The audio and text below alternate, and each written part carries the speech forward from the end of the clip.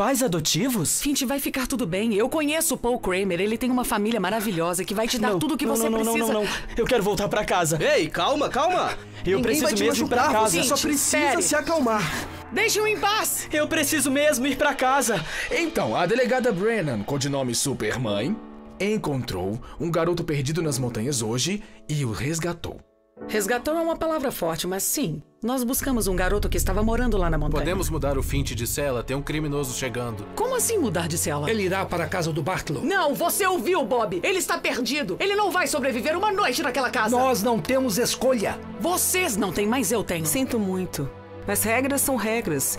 E agora nenhuma de nós tem autoridade para mudarmos o rapaz. Adoção. Isso vai dar tempo a ele até que possamos levá-lo para um lugar seguro. O quê? Ele vai ficar? Não com a gente. Nós não vamos adotá-lo de verdade. É só por um tempo até acharmos uma família onde ele possa ficar definitivamente. Ele precisa da minha ajuda.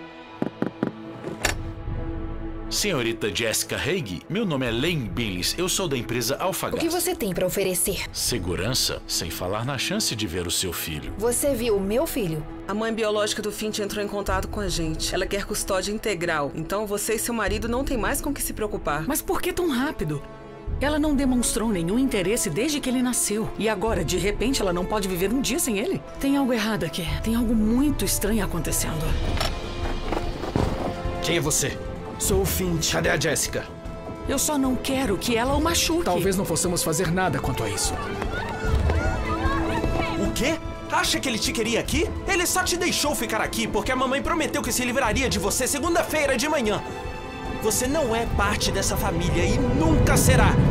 É loucura a gente estar se envolvendo nisso? Tarde demais agora, não é?